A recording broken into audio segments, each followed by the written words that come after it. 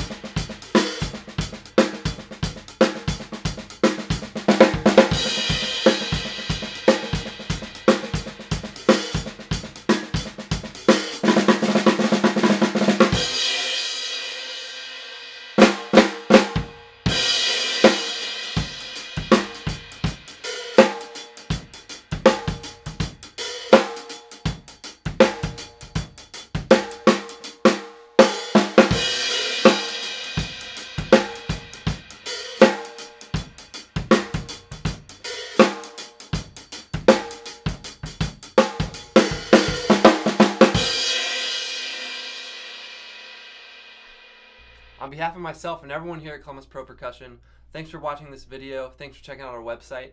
You can buy this drum right now at columbuspercussion.com. We'll see you soon.